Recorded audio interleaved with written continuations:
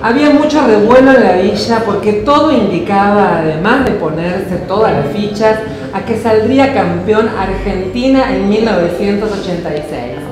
Vivíamos seis trans en una pieza de 4x4 y no podíamos dejar de festejar, como muchos argentinos, este gran triunfo de la selección.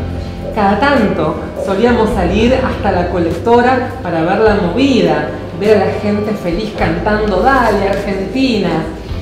Las seis no aguantamos y decidimos arriesgarnos a permitirnos festejar ese triunfo junto a tanta gente a pesar de tener la 109, una camioneta de la Yuta rondando por toda Villa Madero.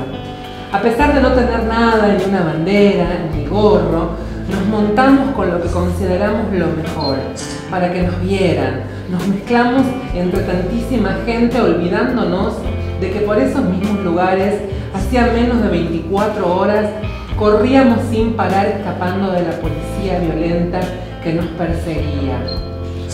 Estábamos alegres, festivas, estábamos lindas, alabándonos entre nosotras los modelitos. Nos fuimos, nos cansamos de saltar, de gritar. Cuando pasaron en el micro tan lento, no pasamos desapercibidas. Seis escándalos juntos éramos. Era mucho. Era imposible que los muchachos no nos vieran. Recuerdo que Maradona nos saludaba junto a otros con cierta sorna, pero nos importaba nada. Le cantábamos frente al micro mostrándole las tetas, algunas, yo no, obvio.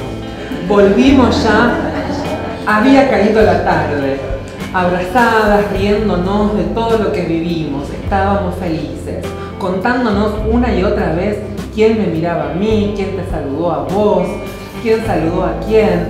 Ya en nuestro hogar, siguiendo los festejos, nos acordamos que ninguna pudo sacarle fotos ahí en medio de todo el festejo, pero debíamos seguir nuestro tiempo de desolorar, al menos un poquito más. El exilio y el carnaval, y los distintos testimonios de las chicas sobrevivientes de esa época.